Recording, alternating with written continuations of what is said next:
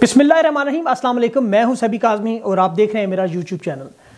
नाजीन, इस वक्त अफ़गानिस्तान में आपको पता है हुकूमत बन चुकी है, लेकिन जो खदशात उनके मुस्तबिल के हवाले से आ रहे हैं, उनमें एक बड़ा कांटा, या आप ऐसे कह लें कि पूरा हाथी तो निकल चुका है, लेकिन उसकी दुम अभी तक फंसी हुई है। और ये दुम है पंजशीर पंजशीर के जो मामलात है, वहाँ पर अभी जो एक कमांडर सामने आ गए, इसमाइल ख़ान। इनकी वजह से अब आने वाले दिनों में क्या वाकई अफ़गान तालिबान के लिए कुछ मुश्किल पैदा होंगी? ये बहुत अहम सवाल है। और ये कमांडर इस्माइल खान, जो कि 15 अगस्त को इन्होंने अफ़गान तालिबान के सामने सरेंडर कर दिया था। बहत्तर साल इनकी उम्र है। और अगर आप इनका थोड़ा सा माजी देखें तो ये हरात शहर में गवर्नर भी रह चुके हैं और इन्हें हरात का शेर कहा जाता है। बड़ा अरसा इन्होंने वहाँ पर पहले अफ़गान फ़ौज में गुजारा। हरात के पैदा होने वाले ताजिक नस्लन ये ताजिक है। और बहुत दलेर शख्स है और सबसे बड़ा शातिर इंसान भी है। मतलब जानते हैं जंगी कमांड, सारी ज़िंदगी लड़ते हुए गुजारी। पहले अफ़गान फ़ौज में एक कप्तान के तौर पर भी गुजारी। सोवियत के ख़िलाफ़ जब मुजाहिदीन 1979 में बने तो उस वक्त भी ये अफ़गान फ़ौज का बड़ा अहम हिस्सा और बड़े अहम कमांडर्स में नाम आता गया और आहिस्ता आहिस्ता अपना लोहा मनवाया एक बड़े लेवल पर आके पूरे हरात शहर में इनका सियासी भी एक बड़ा कदकाट है। जमात इस्लामी जो वहाँ पर एक जमात है, उसका एक सियासी कारकुन भी था। फिर आहिस्ता आहिस्ता ज़ाहिर है, जंगी तजर्बा होने की वजह से फिर इसको रैंक्स में इसके ऊपर आने के चांसेस बढ़ते गए और फिर ये एक मशहूर कमांडर बन गया। और सबसे बढ़कर मलेशिया होने के अलावा ताजिक है हरात। हरात का अगर आप नक्शा देखें तो ये बिल्कुल ईरान के साथ सरहद पर वाक़ इलाका है। और यहाँ पर अफ़गान तालिबान को काफ़ी मुश्किल पेश आई थी इस पूरे इलाके को फ़तह करने में। और उस वक्त जब इन्होंने सरेंडर किया था इसने मोहम्मद इसमाइल ख़ान ने तो उस वक्त इसने अफ़गान तालिबान से ये दरख्वास्त की कि बहत्तर साल चूँकि उम्र थी तो अफ़गान तालिबान ने भी उस वक्त चूँकि आम माफ़ी और तमाम लोगों को छोड़ने का एक अंदिया दिया हुआ था, उस सिलसिले में इसको भी छोड़ दिया गया। और ये उम्मीद कर रहा था कि अशरफ गनी या अमरुल्ला सालह की मदद आएगी और मैं इनको इतनी देर तक रोक सकूँगा, लेकिन फिर ये रोक नहीं सका और कब्ज़ा हो गया। वहाँ से ये फिर ईरान चला गया। अब ईरान जाकर इसने अपनी ज़ाहिर जंगी कमांडर सारी ज़िंदगी गुजरी हुई है ताल्लुक भी हैं, मलेशिया भी है, और उसका कहना है कि हम लोगों ने ज़ाहिर है बहुत सारी लड़ाइयाँ हारी हैं, लेकिन हम अभी जंग नहीं हारे। दूसरे मानों में हम रेजिस्टेंस करेंगे, और जो नेशनल रेजिस्टेंस फोर्स बनी हुई है वहाँ पर पंशीर में, उसकी भी कमान संभालने को ये शख्स तैयार है। और अब सबसे बढ़कर इसको ईरान की भरपूर मदद हासिल होगी। तो क्या आने वाले दिनों में तालिबान के लिए कोई ख़तरा हो सकता है? इसके लिए मैं आपको थोड़ा सा डिटेल में बताता हूँ कि इस पूरे खत्े में एक असूल है कि जब भी ताकत के मराकज़ में और बदकिस्मती से हमारी इस्लामी तारीख में हमेशा से ये रहा कि हम सब लोग, जितने भी वॉर लॉर्ड्स या बड़े इस वक्त कबीले के लोग या इवन जो सदूर थे वज़रा आज़म थे या मिलिट्री डिक्टेटर थे, हम सब लोग ताकत के चक्कर में लगे रहे। अफ़गान तालिबान का मसला जो है, वो मसलक का मसला रहा नहीं। इसमें कोई शक नहीं कि इनकी मौजूदा काबीना में कोई अल तशी इन्होंने वज़ीर नहीं लिया। लेकिन इंटरव्यू में उसके साफ़ अफगान हुकूमत के नुमाइंदे ने कहा कि अगर ईरान को इस चीज़ पर एतराज़ है तो उनकी गवर्नमेंट में भी कोई अल सुन्नत वज़ीर मौजूद नहीं है। हमारे पास बहुत से अहदे मौजूद है भी उन पर हम ज़रूर, जो शिया नुमाइंदगी ज़रूर रखेंगे और उन्हें ज़रूर अपनी हुकूमत में मशावरत के लिए रखेंगे। अब चूँकि उनका कंट्रोल है, उनका मुल्क है, उनकी हुकूमत है तो ज़ाहिर उन्हीं का रूल चलेगा।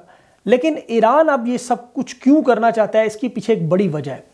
अगर आप थोड़ा सा जोग्राफियाई सतह देखें तो तुर्की जिस तरह खिलाफत उस्मानिया का दावेदार था, और एक अरसा तक सऊदी अरब से तुर्की के मामला किस तरह चलते रहे, आपको पता है कि खिलाफत उस्मानिया फिर बिखरी। तुर्की आज भी खिलाफत उस्मानिया का दावेदार है।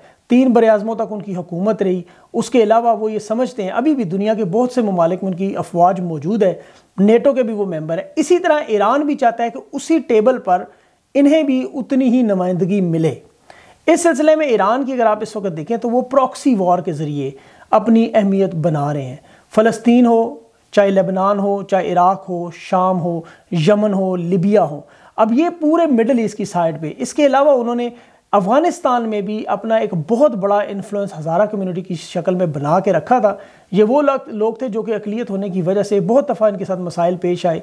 उस वक्त फिर इन लोगों ने अपनी एक पूरी जमात बना ली, जिसमें तीस हज़ार थे, कुछ चालीस हज़ार थे, फिर सत्तर हज़ार तक इनकी जो है वो टोटल स्ट्रेंथ पहुँच गई। और अगर आप देखें तो दूसरी तरफ़ अफगान तालिबान जो पश्तून है, ये भी कोई बैतालीस फ़ीसद आबादी का हिस्सा है। इनकी भी तकरीबन स्ट्रेंथ जो थी लड़ने वालों की वो तकरीबन अस्सी हज़ार से डेढ़ लाख के करीब बनती है। तो वो एक बड़ी आबादी का बड़ा मेजर हिस्सा समझते थे। अहमद शाह मसूद जिसको जब आपको पता है एक कैमरे वाले बम में उसको जब उसको हलाक किया गया तो उस, वो कैमरे वाला बम था जिसके पास लेकर आए। वहाँ पर उसका जो तर्जमान था फ़हीम उस वक्त वो बच गया था।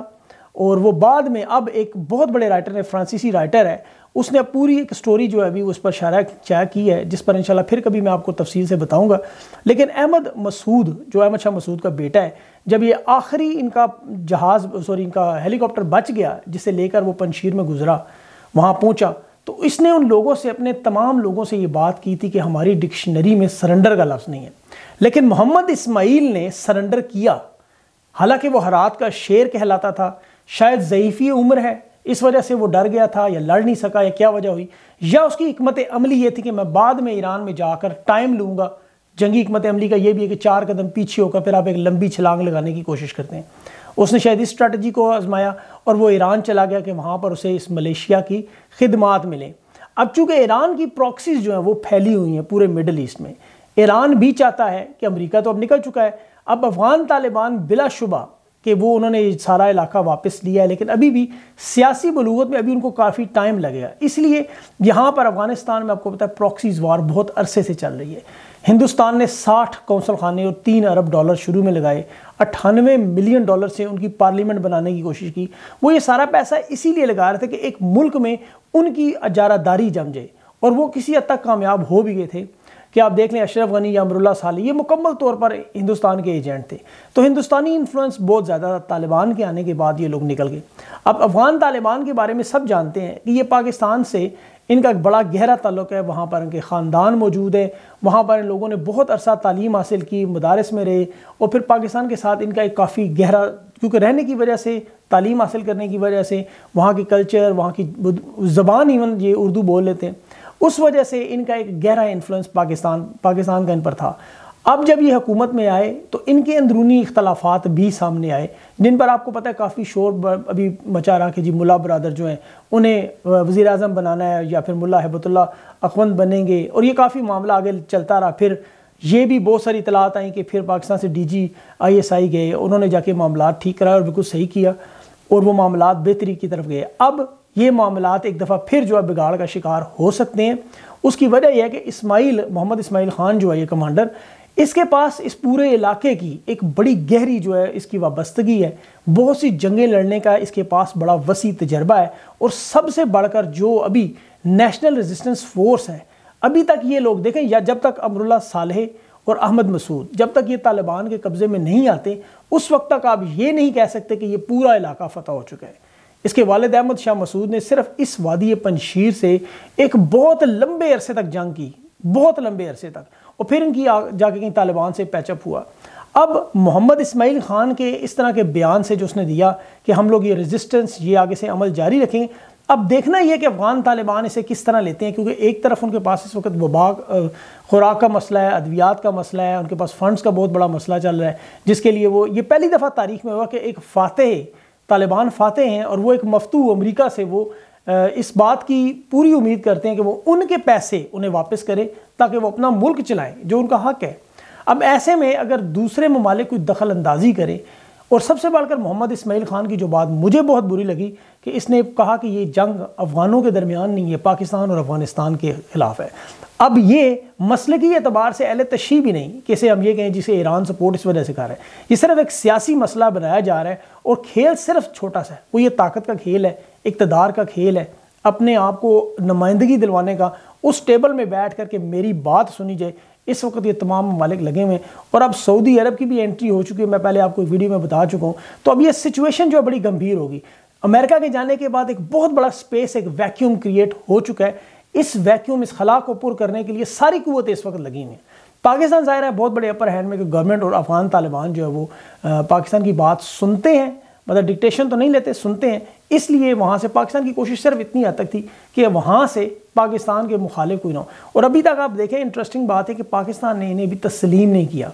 अमेरिका ने कहा, तब तस्लीम करें जब अकलीतों को, औरतों को और तमाम हकूक़ दें। और अब कतर के वफूद की भी, अब कतर के देखें फ़ॉरन मिनिस्टर ने जाके बात की बाकायदा कि जब तक आप ख़वातीन को सामने नहीं लाएँगे, इनको अपनी यहाँ पर गवर्नमेंट में हिस्सा नहीं देंगे इनके ऊपर जो राइट्स खोलेंगे नहीं, तब तक दुनिया आपको तस्लीम नहीं करेगी। तो दुनिया को मनवाने के लिए इनके इनके लिए बड़ा ज़रूरी है, क्योंकि आपको पता है दुनिया के साथ चलना है, तजारत करनी है, बहुत से काम है। तो इसमें आपको दुनिया के साथ, इसके साथ बहुत सारे काम ऐसे करने पड़े, जो आपकी शायद मर्ज़ी के ना हो। लेकिन मोहम्मद इसमाइल पंशेर का ये जो वाक़ आप देखना ही है कि ये बूढ़ा लाइन ऑफ़ जो हरात अपने आप को कहलाता है, अभी तक शेर है, या इसके दांत निकल चुके हैं, पंजे घिस चुके हैं, और अब ये सिर्फ़ नाम का शेर है। ये तो आने वाला वक्त ही बताएगा। इंशाल्लाह आपको अपडेट करता रहूँगा। अपना ख़ास ख्याल रखें। अगली वीडियो तक लिए मुझे इजाज़त दी। अल्लाह हाफिज़।